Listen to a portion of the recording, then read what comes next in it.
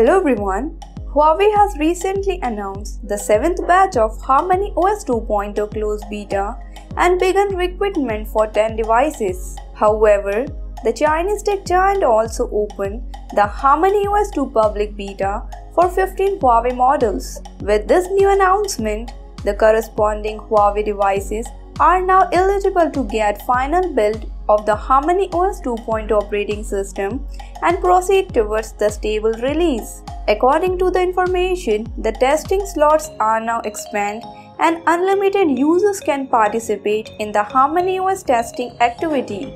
The 15 eligible devices for the Harmony OS public beta are Huawei P20, P20 Pro, Mate 10, Mate 10 Pro, Mate 10 Porsche Design, Mate RS Porsche Design, Nova 4, Enjoy 10s, Enjoy 10 Plus, Honor 9X, 9X Pro, 20s, 10, V10 and Play 40 Pro.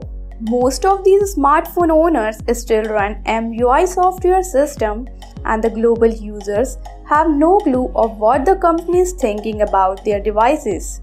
However, we believe that there may be a plan that will come sooner or later. Furthermore, Harmony OS 2.2 comes with a plenty of hardware acceleration and improvements that makes it stand above the existing EMUI user interface.